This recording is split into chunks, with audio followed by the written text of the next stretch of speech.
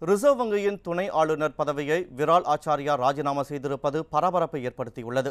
Reserve வங்கியின் துணை ஆளுநர்களில் ஒருவரான விரால் ஆச்சாரியா கடந்த ஆண்டு அக்டோபர் மாதம் ரிசர்வ் வங்கியின் தன்னாட்சி குறித்து பேசினார். இது தேசிய அரசியலில் பெரும் பரபரப்பை ஏற்படுத்தியது. ரிசர்வ் வங்கியின் செயல்பாடுகளில் மத்திய அரசு தலையிடுவதாக காங்கிரஸ் உள்ளிட்ட எதிர்க்கட்சிகள் குற்றம் சாட்டின. இந்த நிலையில் ரிசர்வ் வங்கியின் துணை ஆளுநர் பதவியை விரால் ஆச்சாரியா தற்போது ராஜினாமா செய்துள்ளார். இரண்டாயிரத்து பதினேழாம் ஆண்டு ஜனவரி மாதம் ரிசர்வ் வங்கியின் துணை ஆளுநராக பதவியேற்ற விரால் ஆச்சாரியாவின் பதவிக்காலம் முடிவதற்கு ஆறு மாதங்கள் உள்ளன. இந்த நிலையில் அவர் தனது பதவியை ராஜினாமா செய்திருப்பது குறிப்பிடத்தக்கது.